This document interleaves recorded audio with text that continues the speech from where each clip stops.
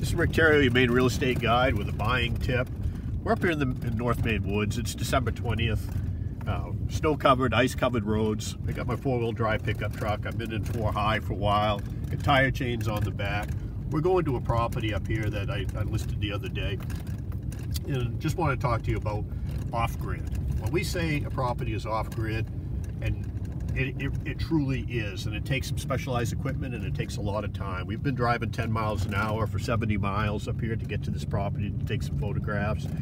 But as for you as a buyer, if you're thinking about coming up here to take a look at a property, if you can't make a buying decision based on what you see with snow-covered uh, ground and, uh, and leafless trees, because it's kind of stark in the wintertime, wait till spring, because it's easier to get around in the summertime uh, May, June, July, August than it is in December, January, February.